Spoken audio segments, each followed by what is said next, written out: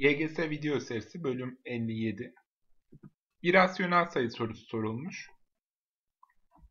Öncelikle parantez içlerini yapıyoruz. 3 eksi 1 bölü 2. 2 tane yöntemi var. İster 3'ü 6 bölü 2'ye çeviririz. Daha sonra 6 bölü 2 eksi 1 bölü 2 deriz.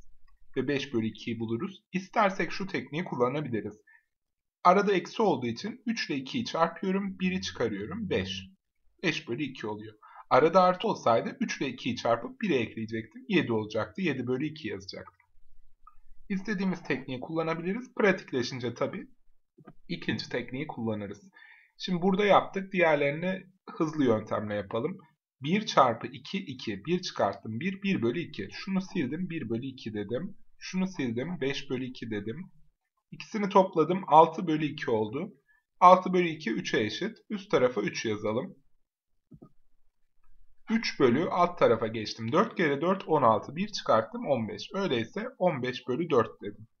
Eksi. Şimdi burası biraz karışık geliyor. Aslında öyle değil. Ee, sadece yerlerini değiştirmiş. Şu şekilde yapabiliriz. 1 ile 4'ü çarptım 4. Ee, 3'ten 4'ü çıkartmam gerekecek. Eksi 1 bölü 4 olacak. Orada kafa karışabilir. Şöyle yapabiliriz. 3 bölü 4 eksi 4 bölü 4 diyelim. Bu da eksi 1 bölü 4'tür. Eksi 1 bölü 4'ü yazdım. Şimdi hem burada eksi var hem burada eksi var. Dolayısıyla bu artıya döndü. Artık 15 bölü 4 artı 1 bölü 4 yani 16 bölü 4 oldu. 16 bölü 4 de 4'e eşit. Yani üst taraf 3, alt taraf 4 oldu tüm işlemleri yapınca. Dolayısıyla işlemin sonucu 3 bölü 4 oldu. Peki burada ne yaptı? Adam şunu yaptı. Dedi ki, rasyonel sayılara çalışan adam sadece şu yöntemle mi ezberlemiş bunları 3 çarpı 2 eksi 1 falan.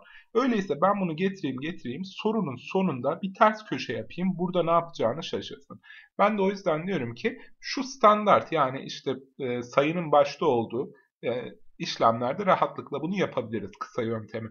Ama eğer sayı sondaysa e, o zaman paydaları eşitleyerek normal yöntemle yapacağız. Bu şekilde soruyu rahatça çözebiliyoruz.